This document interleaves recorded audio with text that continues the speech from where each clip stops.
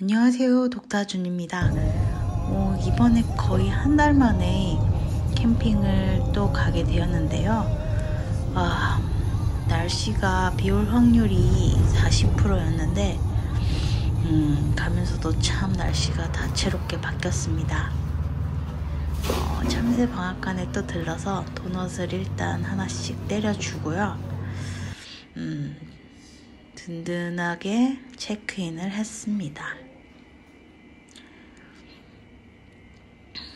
오늘은 조금 더 밑으로 내려와서 포트 엘리엇의 바닷가가 바로 옆으로 연결되어 있는 BIG4 Holiday Park를 예약했습니다.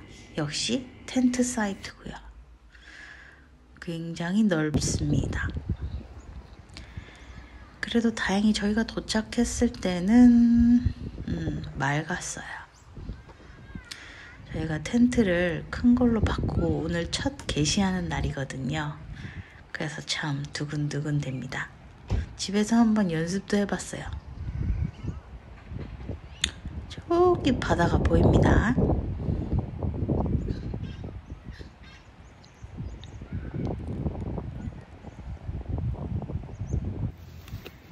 네, 이날을 위해 커플로 트레킹화도 같이 구매했어요.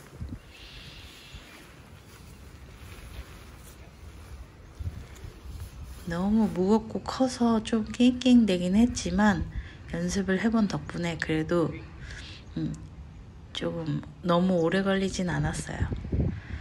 음, 그래서 한 번 더 이중으로 천을 덧대고 텐트가 완성이 되었습니다. 이거는 10인용 텐트인데요. wow. 어, 저희 신랑이 일어서도 천정이 머리에 닿지 않아요. 그리고 어, 천정에는 다 LED로 라이트까지 음, 불, 밝기 조절까지 가능하게 되어 있고요. 이렇게 식탁이랑 테이블을 중간에다 놓고 양 옆으로 방이 두 개 있어서 총 10인이 잘 수도 있는 텐트라고 합니다. 이게 얼마인 줄 아세요? 음, 정가는 자그마치 1,500불이에요. 지금 호주 환율로 계산하면 139만원 정도 되더라고요. 와. 근데 그 제 가격 주고는 절대로 못 사죠. 겨울이라 반값 세일해서 700불에 샀습니다. 그것도 꽤 비싼 가격이라 많이 고민하다가 신랑이 질렀어요. 네. 헐리데이 파크는 약간 이런 분위기고요. 날씨가 조금 따뜻해져서 어, 가족 단위로 많이 왔네요. 생일 파티도 하는 것 같았어요. 바로 산책로와 바다, 바다로 연결되는 게 있었고 꼭 이 캠핑장에 머물지 않더라도 여기저기 산책하는 사람들이 많이 보였어요. 역시나 낚시를 해볼까 하고 이쪽으로 잡았는데 하, 오늘 바람과 파도가 상당히 세서 또 깔끔하게 포기를 했습니다. 이번 호주의 겨울은 유난히도 비가 많이 왔었는데 그래도 꽃도 피고 봄이 오고 있네요.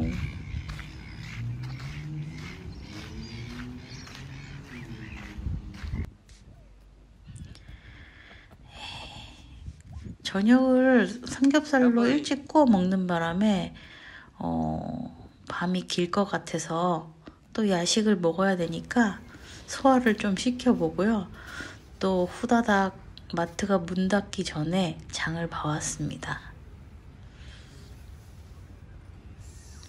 그래서 안주가 부담 없는 안주가 뭔가 생각하다가 닭똥집을 한번 해봤는데 냄새를 확실히 잡지 못해서 망했습니다.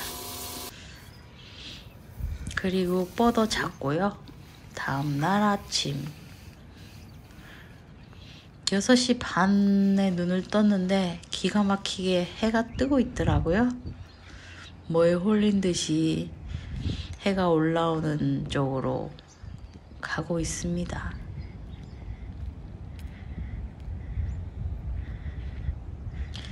일출은 언제 봐도 음, 멍 때리게 되는 것 같아요.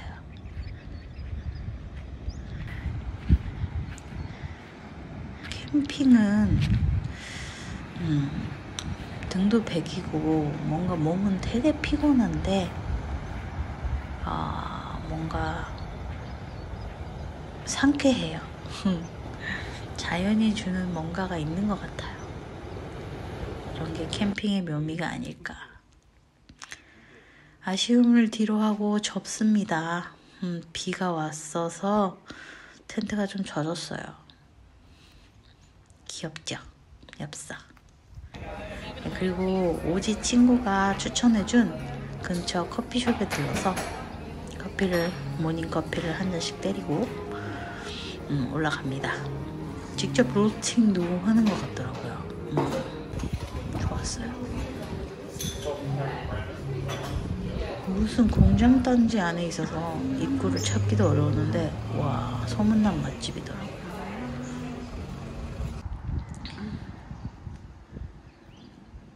아 저희는 또 어, 이렇게 10인용 텐트를 빵빵하게 가지고 낚시가 될 만한 데를 찾아서 또 열심히 개척해 나갈 예정입니다.